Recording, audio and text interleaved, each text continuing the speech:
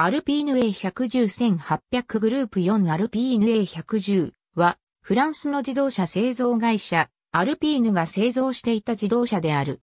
フォッサルノー A110 スペイン製フランス製造の A110 のみ、1100ゴルディーニ、1300ゴルディーニ、1600S、SC、SX がスペイン製造では 1300VC、4速仕様でスペイン製造の未後期にルノー5アルピーヌのエンジンが搭載された。構成は交換バックボーンタイプのシャシに FRP、モノコックボディが被せられ、前方は FRP が車種の一部に張り込まれ、後方ではリベットを併用し、一部 FRP が張り込まれて固定されている。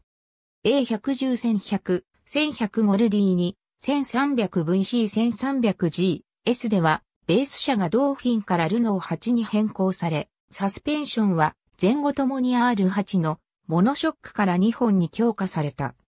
冷却方式にも R8 の特徴が受け継がれており、ラジエーターは車体最後部に位置し、冷却機は車体後部左右上面のエアインテークから取り入れ、ラジエーターを後から前へ抜け、エンジンルーム前側の画面から排出される。走行風による吸引効果を最大限に活かすため、車体仮面はスムーズに形成されている。1300G、S の一部と1600系は、リアラジエーターではなく、フロントノーズにラジエーターを移動した。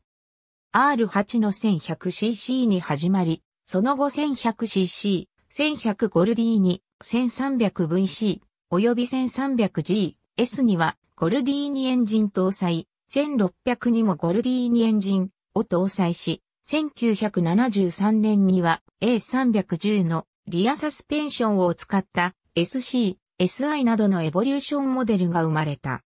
バックボーンフレームの車種と FRP 製ボディの組み合わせにより、標準的な車重は 1600S が約 730kg、1600SC が約 840kg と非常に軽く、最終型の SX でも 850kg を超える程度である。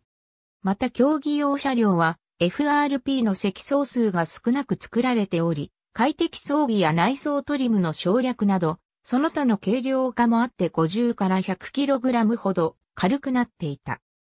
数々のラリーで優勝をはじめ、多くの好成績を収めた A110 の最大の武器は、RR による絶大なトラクションと、ライバルたちに比べ圧倒的に軽量な車重であり、これによりラリー界を席巻し、アルピーヌ・ルノーは1973年に初代 WRC マニファクチャラーチャンピオンの栄誉に輝いた。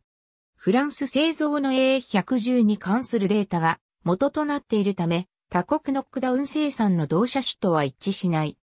1971年には後継となる A310 が登場したが、A110 の生産は1977年まで続けられた。そして生産終了からちょうど40年となる2017年、本社をモチーフとした新型 A110 が発表された。